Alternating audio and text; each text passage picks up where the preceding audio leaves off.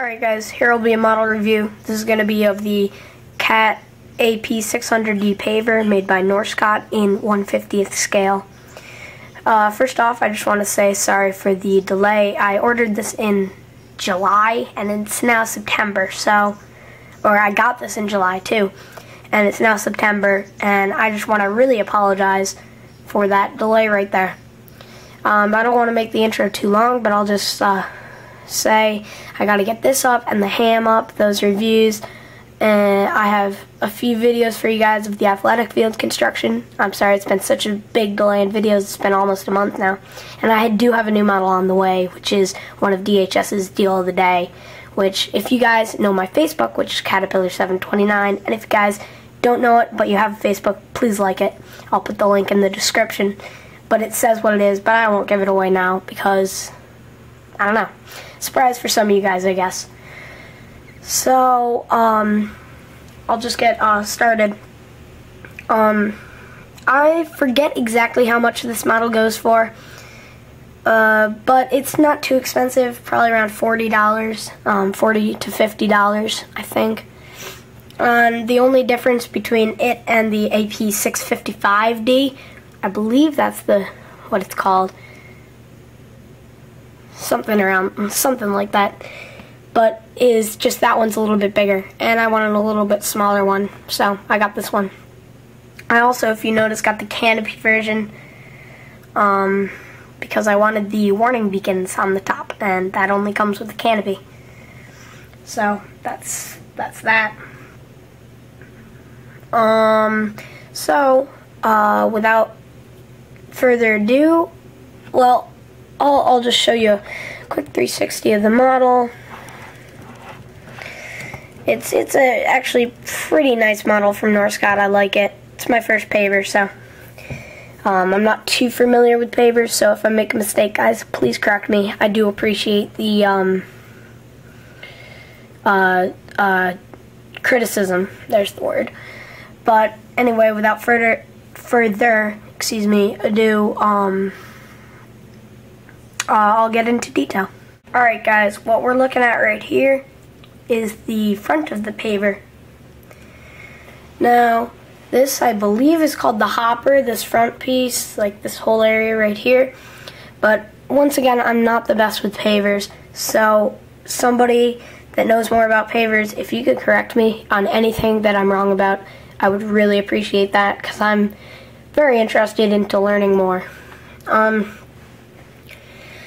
what these uh, black pieces are is they're just uh, simulating like the little bumpers um, where when the dump truck pulls up to it, it um, doesn't scratch up the paint or dent the metal on the uh, front.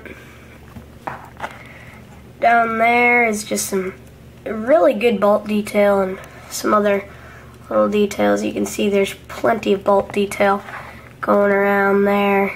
It's really nice. Um, inside the hopper, which I think that's what it's called, is a simulate, simulated um, conveyor, which is where it would bring the asphalt to the rear of the paver, where it would spread it at the screed. Uh, I think that's what it's called, screed. Yeah, screed. And but it doesn't actually move. But there's just the little hole where it goes in and as you can see, it's a little bit wet there, which I, um, I cleaned off the model just the slightest bit before I did this because it was kind of dusty. But I can't get all the water out, so that's, if you see any little mist-looking water dots, that's what that is. Now, a nice feature that all paver models do is the hoppers fold up like that, and that's what it looks like when they're folded. Here's a side view of, fold, of when they're folded. You can see if I bring one down, the cat and the AP600D logo with your power edge. Now if I leave them folded, you can see the um, tires, which there's some good detail on the tires, and you can also see that silver bar there, which is plastic, but it's to help with the steering, and you can see the pins in there and they do steer. It's not the best, but you know, what are you going to do about it? and there are they are duals, and the other side has linked steering, but sometimes you, you gotta force it a little bit. It's not always the best. And then of course it goes the other way, which I think it goes more to this side than the other way, but you know. Now, um, up here is your Caterpillar logo. And then you have two work lights on either side. And a big exhaust stack which comes right up there. Um, if we move back down, here's that side, and here is the large wheel, which, if you can see, actually says cat in it and it's got a very good amount of bolt detail. And I like the treads on it, which they're actually pretty detailed. While we're underneath, nothing special, just the steering rods and some manufacturing info. The Norscot stuff, but nothing much. Um, I'll move up to the cab now. Starting off with the canopy, you have two work lights up there on either side, and then you have a warning beacon, which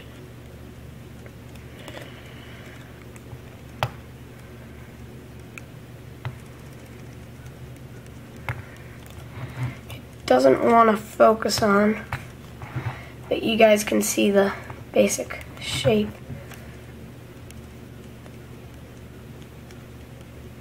Anyway. It's weird. There we go. Now you can see it. Um, and then on this side you have a seat with some handrails, and all the handrails on this are plastic.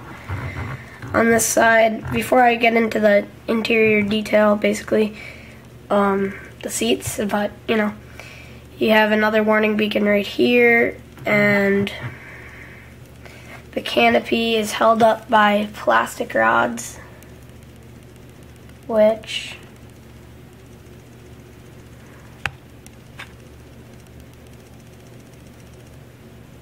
there.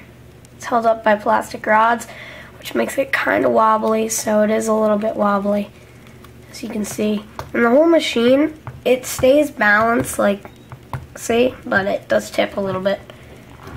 Um, the seats here, back to what I was saying, the handrails are all plastic, but you know, that's expected from Norscot. The seat's a little bit wet, but it's it's got some okay detail. And then it's kind of hard to see, but it's simulated that the seat has suspension, if you can see. It's not really wanting to focus there, but it doesn't actually. Cute little armrest on there here's where most of the detail is. It's on this seat, which has the same little suspension detail. And the seat itself is the same, but then you got your steering wheel, which um, doesn't actually turn. See, but it's good that they incorporated it.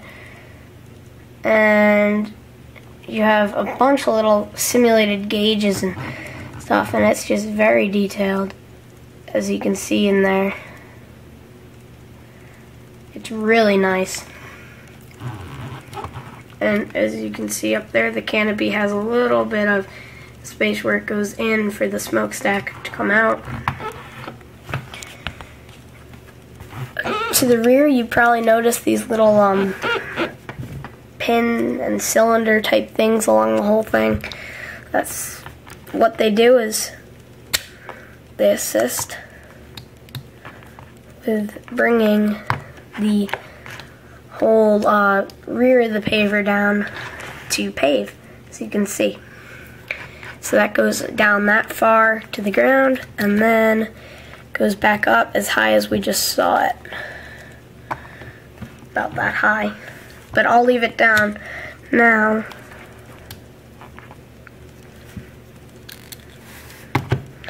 And the cylinders don't really all work together. You kind of have to put the small ones down individually, but these two go down together. Um, in the rear here, you have your plastic handrails and um, just some uh, diamond plating engraved in there. Here you have some cat lettering some sort. Not sure what it means. Again, I'm not too familiar with pavers. But if you guys know what it means, it says cat AS4251C. So, you know, if you guys know what that is, that would be awesome.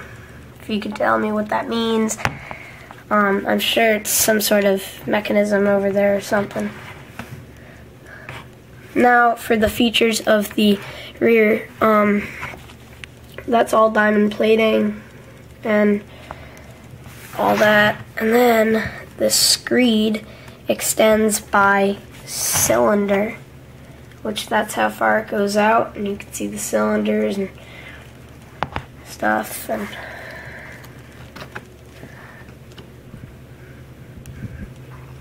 That's the full extension. Then you have some detail in the rear here that I missed. And that's what it looks like when it's paving, as wide as it can pave. But I'll close that up right now. Now, on the rear of the paving area is the little like auger piece that spreads the asphalt, or well, mixes it up right before it gets spread across the road. But it doesn't actually turn. As you can see, it's just a nice detail added. Um, and you can kind of see it. Um, right now with the bad lighting, you can't, but you can kind of see it in there when it's lighter. So that's about the gist of the model. It has some amazing detail on it. Um, it's one of Norscot's real nice models. Um, so with that said, I'll do a few comparisons and that's all. Alright, so this is what it looks like paving with the Mack Granite pulled up to it. Um, looks pretty cool like that. Um, it can also, I believe, fit on the beaver tail that comes with the Mack Granite. Um, oh yeah, I gotta fold up the hopper area and it does fit just barely.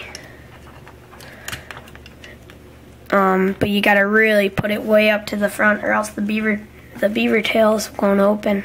But if it's right up to the front like that, you're set and it does fit uh, very slightly. Um, so that's that. And then last but not least, here's what it looks like with the Hamm trailing behind it.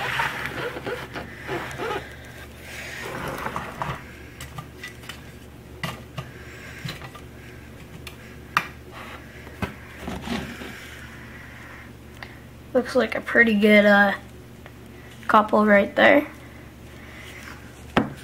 Um, so yeah, uh, that is really all, and now I will get to the Hamm review for you guys.